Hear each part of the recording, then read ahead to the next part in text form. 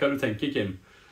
Nei, Når vi ser logoen, så er det jo kanskje noe vi må snakke om. Ja, vi driver jo og prepper for eh, årets Norwegian Toycon, og det er jo eh, ja, årets begivenhet for oss som liker actionfigurer og an annet leketøy. Eh, så er det jo sånn at uh, informasjon kommer etter hvert. Vi har uh, en ny nettside som jeg tror gikk live i dag. Denne her ble filma en eller annen gang i midten av februar. Og så er jo billettsalget i gang.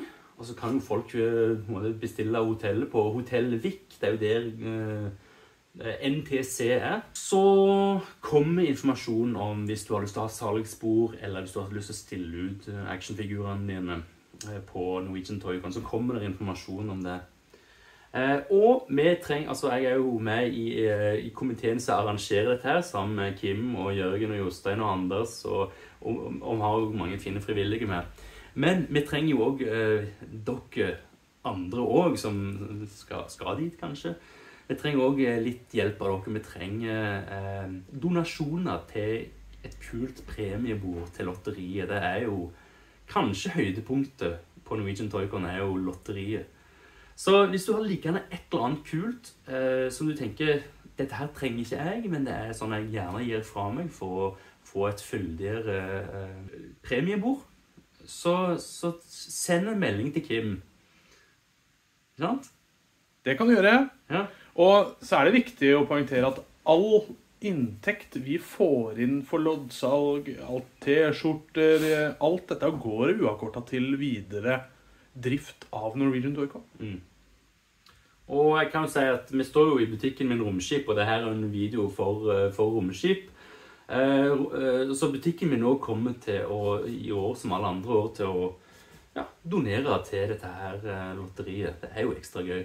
Og jeg har til og med en gang vunnet noe som jeg sjøl hadde levert ifra meg. Den, da måtte jeg gi den videre, da, for det var litt sånn Oi. Men, men det kan jo skje, og det er helt greit. Uh, ja, da vet du iallfall uh, condition på det du vinner. men i dag så har vi fått litt nye forsendelser som vi skal se på. Som alltid så har jeg kjøpt lots. Og med lots så vet du ikke alltid hva du får. Det kan være gull, det kan være gråstein. Det kan være hva som helst. Ja, det er jo stort sett actionfigurer. Før vi åpner, skal jeg iallfall garantere iallfall fall minst én bærepose oppi den esken her. Eh, tror du noe er pakka inn og emballert i en bærepose? Jeg har iallfall aldri opplevd at jeg pakka opp noe som ikke har vært levert med bærepose rundt som isolasjon. Eller avispapir.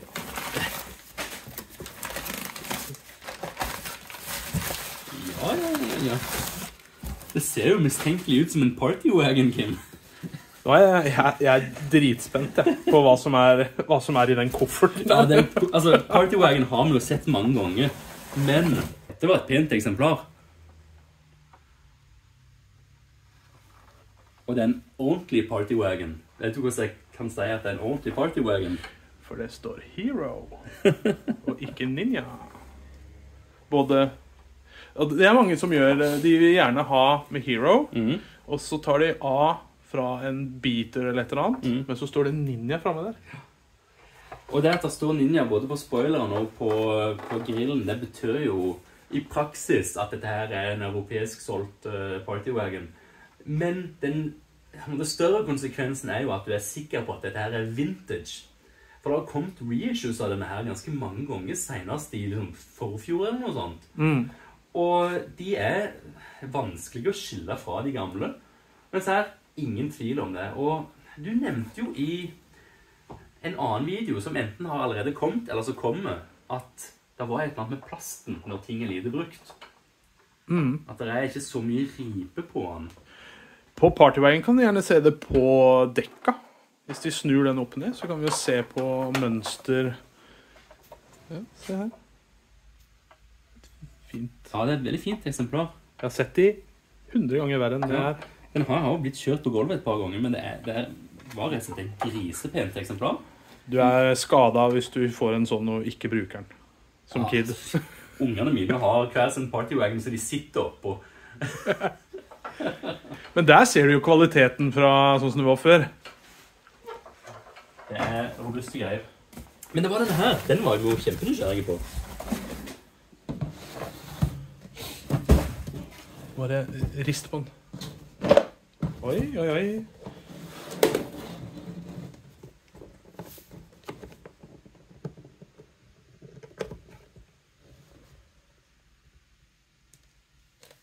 Ja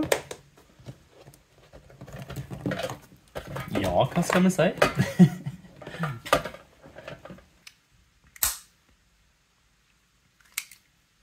Eh, det er gøy. Men selve figuren her var det et eller annet med.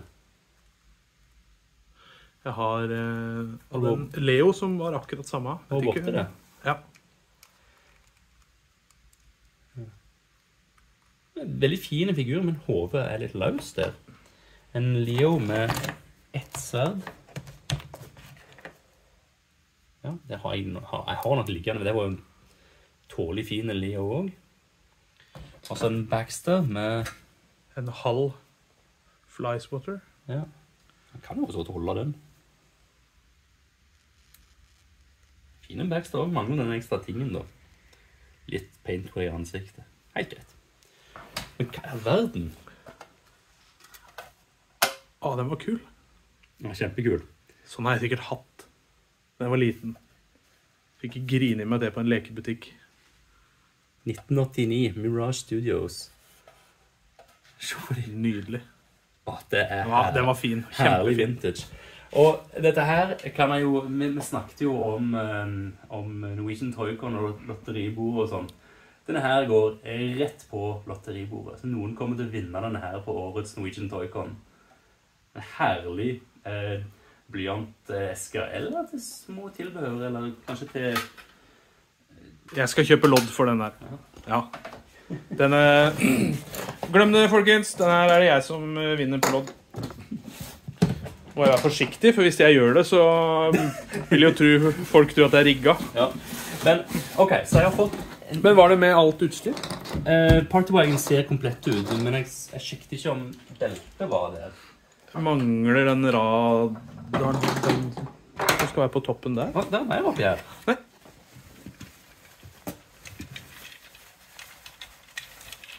Ok.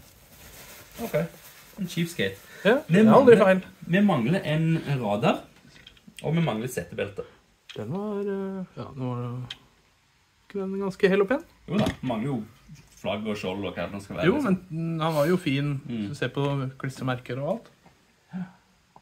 Den Ja. Jeg har garantert liggende en radar oppi eh, restekassen. Jeg går ikke det med en gang. Med den komplett, liksom. Ja. Da kutter vi her, eh, Jon. Ja, da var den god.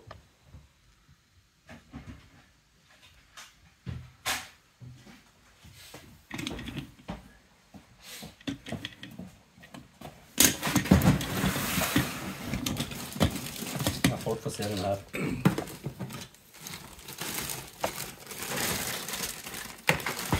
Det er restekasse nummer 33. Det ligger noe i bånn der. Ser du noen partywagon? Ja, det ser noen partywagon-deler der.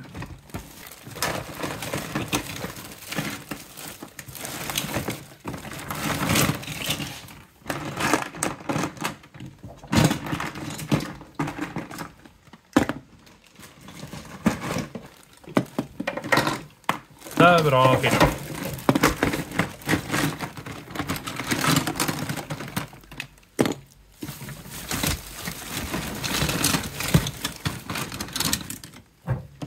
Den delen du allerede fant der. Men det var ikke den vi skulle ha.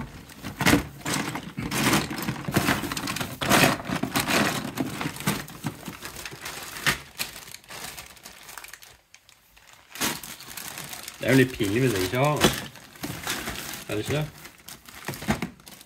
Nei, Med tanke på alt du har levert, så er det jo greit. Jeg skal gi deg en, skal gi deg en free pass på den.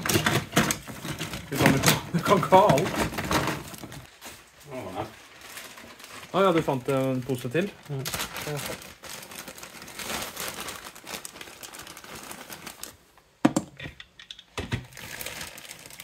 Ok. Ja, jeg tror vi sier at vi, vi fant rett og slett ikke den rette delen. Det er jo litt underlig. Men, men, sånn er det. Der skal jo stå en, en ting her på tuppen. Og jeg fant eh, to eh, venstrespeil en ekstra ting, noen ekstra kanoner, noen ekstra bomber, men ikke den ekstra eh, eh, radaren som skal stå på, på tuppen her. Så den her eh, enn så lenge er ikke komplett. Men jeg er ikke bekymra, for det er jo sånn som dukker opp av og til. Ja, jeg er nesten sikker på at du har den liggende en plass. Du mener du har sett den? Nei, men eh, Jeg blir ikke overraska hvis du har den. Det kan være han dukker opp. Men OK, vi har, vi har um, en um, kasse igjen. Jeg kan jo, kan jo si at jeg er veldig fornøyd med den um, Veldig fornøyd med denne lotten så langt. Det var jo en, en uh, komplett uh, Michelangelo og en veldig fin uh, sånn samlereske. Og egentlig en nydelig partywagon som har liksom eh, Når vi får den siste delen, så er det et dødsfint eksemplar.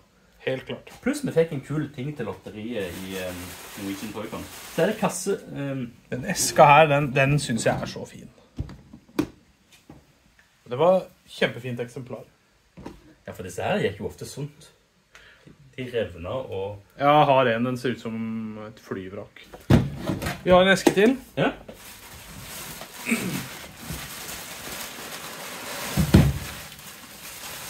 Oi!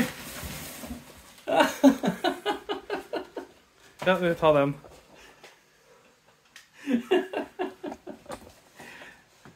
ja, det er gøy. Går som håndbagasje på Gardermoen. ja. Det er Jon her. Og, og Nei, du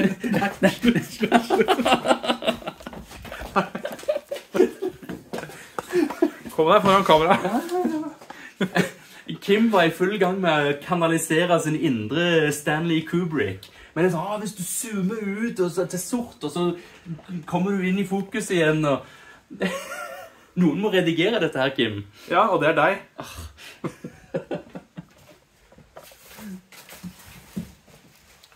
Ja.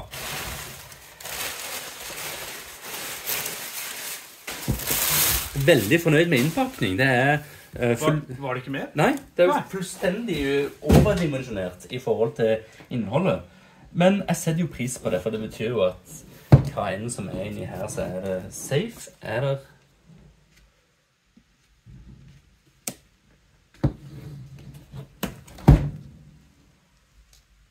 Oi. Skal det være sånn i den andre òg? Sannsynligvis. Det har jeg aldri sett. hvis vi tar en titt på det. Og jeg føler at disse her gikk oftere sunt enn selve eh, veggene på den her. Jeg mistenker at det også skulle være en sånn en insert. Ja, for det jeg, første jeg tenker på, er sånn inni hjørnet, hvor det er gjerne litt tynt, så mye respekt. Men ok, her kommer jo vi til å få noen reaksjoner fra puristene. De, de konservative Transformers-samlerne. Du har en nydelig Transformers Collectors Case. Perfect for most Transformers and accessories. Det er jo ikke plass til en Fortress Maximus eller en eh, Tripticon oppi her. Og hva er det som ligger oppi her?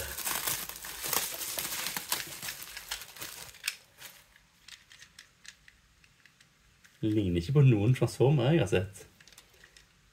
Buddy Elcor. Patent pending.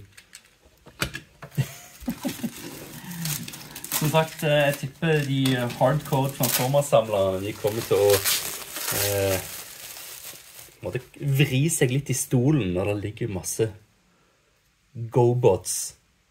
Og ikke engang ordentlige GoBots, men eh, en kjærlighetholder. kjærlighetsholder. Eller hva søren dette her er. Nei, jeg tror kanskje dette her er et musikkinstrument. Tør jeg å blåse i den her? Ja, det gjør jeg. Du, du var mer musikalsk enn som så.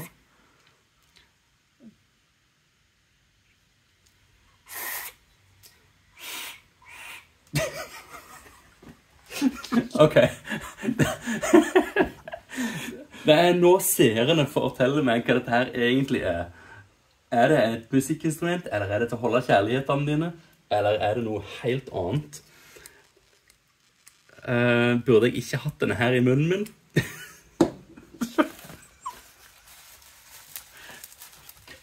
vi, vi fortsetter å åpne uh, figurer som ikke er Transformers. Le Baron. Skikkelig sånn Prøv å fokusere her. Der.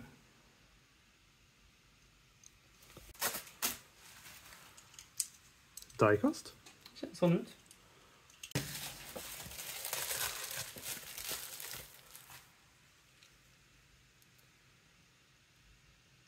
Det ser jo ut som sånn tålelig fine eksemplar. Den var kul, da. En skikkelig beachbuggy. Skikkelig beach boogie. Men la det være sagt, det er ikke ordentlig Transformers. Jeg hadde gått på den. Ja. Det har vel eh, Det er vel litt sånn eh, blasfemi å ha denne kofferten her fylt med GoBots.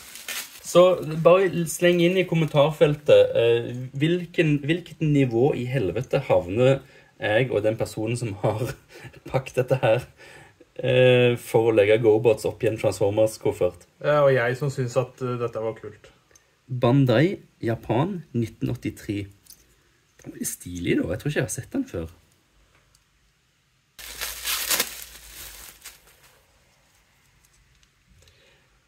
Houston, we have a problem.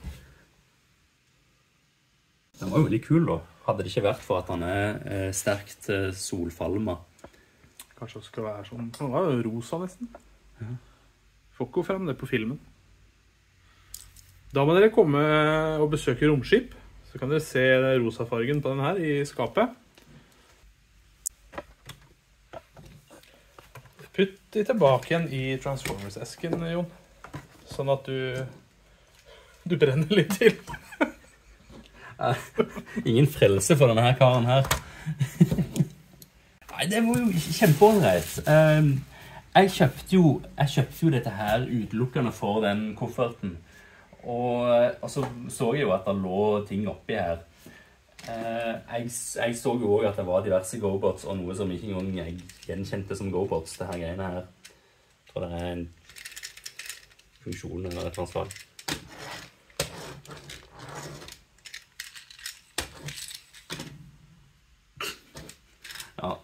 Nei. Eh, men jeg er jo veldig fornøyd med de små greiene her òg. Det er jo noe sånn herlig 80-talls over det. Og de ser faktisk ganske gode stand ut i forhold til hva jeg ofte finner GoBots i. De er ofte kjempeslitt. Jeg Er bygd med litt, litt lavere kvalitet enn enn, eh, de aller fleste Transformers. Eh, og så var det jo kanskje et eh, tilfelle at ungene ikke tok så godt vare på GoBots, for det var jo bare GoBots. Eh, Men jeg har jo folk som kommer inn i butikken her og setter pris på, på GoBots. Så de finnes. De finnes der ute. I travel case. Ja, det er litt rart. Skal vi legge lokk på saken? Ja. Ja, veldig fornøyd med disse to. Eh, som sagt, det her er ting jeg kjøpte eh, nesten utelukkende for de to koffertene. Og så er det jo veldig gøy at jeg fulgte med litt eh, andre ting òg. Er jo begrensa marked for disse her, så det her handler jo om hva jeg har lyst til å ha i butikken. Og på et tidspunkt så, så har en jo hatt det meste av eh, eh, figurer eh, har vært innom her i butikken. Men jeg kan si det er første gang jeg har disse to koffertene inne. Så derfor er det ekstra stas. Eh, det er jo Partywagon nummer 20, liksom. Eh, selv om det var et veldig fint eksemplar. Eh, men det er noe med å få inn ting du nesten ikke har sett siden 80-tallet. Og så var det jo litt lattis at det var off-brand oppi her. her oppi skal det jo ligge liksom Starscream og Prowl og sånt. Og så ligger det et eller annet som knapt nok kan kalles et leketøy. Ja. Ja. Hm. Eh, jeg sier iallfall fall takk for at dere ser på, og så gjerne lik filmene hvis, hvis du liker de da. Hvis du hater de, så kan du trykke tommel ned. Eh, og så sleng, en, eh, sleng en kommentar om eh, der dere roser kameramannen. Ja. Ja. Kjempebra. Ja, han var ikke ferdig. Ja, det er, det er så bra som det blir, liksom. Eh, sleng en kommentar der dere roser Kim eh, for eh, et fantastisk arbeid, et fantastisk stykke med filmkunst. Går ned i historien sammen med The Greats, Steven Spielberg og James Cameron og full pakke, liksom. Kim Tveit. Husk det navnet. Husk det navnet. Jeg vil ikke ha noe tommel ned. Her er det bare tommel opp. Ja, det er bra.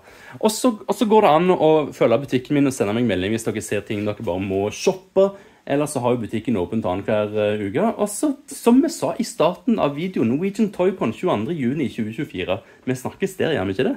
Det gjør iallfall uh, meg og Kim, for vi må. Ja, vi må. Mm. Vi har lyst. Vi har lyst.